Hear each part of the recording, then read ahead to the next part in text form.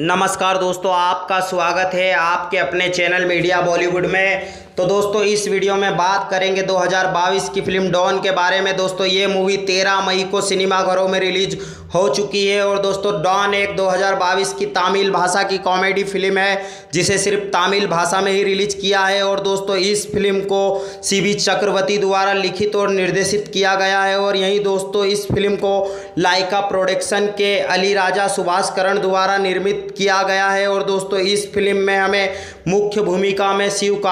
कार्तिकेयन और प्रियंका, आरुल मोहन और एस जे सूर्य, समुद्री कानी और सूरी ने महत्वपूर्ण भूमिका निभाई। और दोस्तों, फ़िल्म की घोषणा जनवरी 2021 में की गई थी। और दोस्तों, बात करें इस फ़िल्म की शूटिंग की तो इस फ़िल्म को कोयम्बाटूर चेन्नई, पोलाची और उडुमलाई पेटाई, तमिलनाडु के अन्य स्थानों में आगरा में एक गीत के साथ शूट किया गया था। दोस्तों, ये फ़िल्म को 26 जनवरी 2022 पर सिनेमा घरों में रिलीज़ किया जाना था, लेकिन निर्माताओं ने रिलीज़ की तारीख को वैलेंटाइन डे के सप्ताह में 14 फरवरी के लिए स्थगित कर दिया था। और यही फ़िल्म,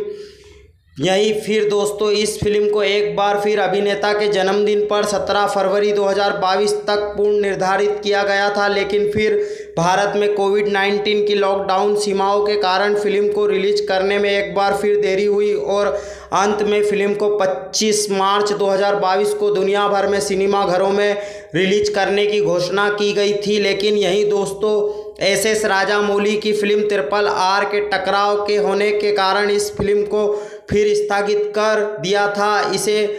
तेरह मई 2022 को सिनेमाघरों में रिलीज़ किया गया है और यही दोस्तों इस फ़िल्म का world wide box office collection 40 crore रुपए से ऊपर हो गया है। तो दोस्तों, अगर आप हमारे चैनल पर नए हैं तो हमारे चैनल मीडिया बॉलीवुड को सब्सक्राइब ज़रूर करें और बेल आइकन को तो दबाना बिल्कुल भी ना भूलें।